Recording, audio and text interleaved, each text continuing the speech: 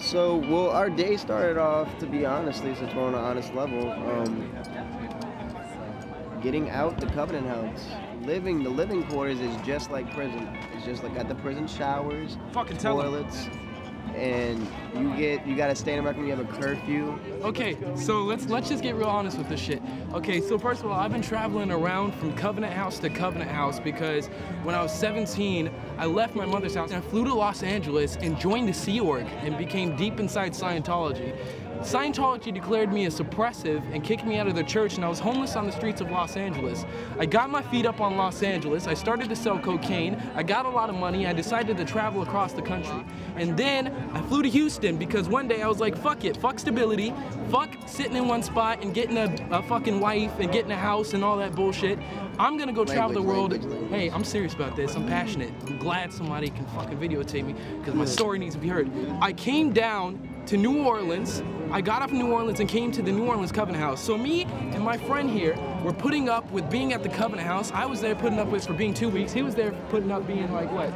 Um, seven to eight months, but I mean, Seven to eight months. But I mean- this guy just gets out of jail and then comes to the Covenant House. Prison, prison, che- prison. prison, checks in, and then an hour later checks back out. And we say, fuck this, man.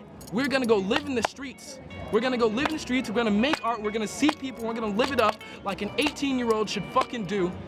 You know, being big in astrology like I am, I read my zodiac. It tells me I'm gonna find a person who's gonna look up to me as if I'm his mentor.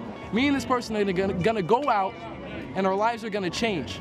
we met each other at, at a point in our lives where we both needed Each other. what we didn't have in each other, and that's what it is. And We're it just kind of all connected too, because in astrology speaking, we all combine to make each other feel like whatever he's losing, I'm gaining for him. Whatever I'm losing, he's gaining for me. it's a complete synchronistic balance that we that we have uh, come about. We skip all the distractions and we head straight to compassion. That's what we do. You know, not only are we changing our lives, but we're changing the lives of others, and and it just feels great. It really does.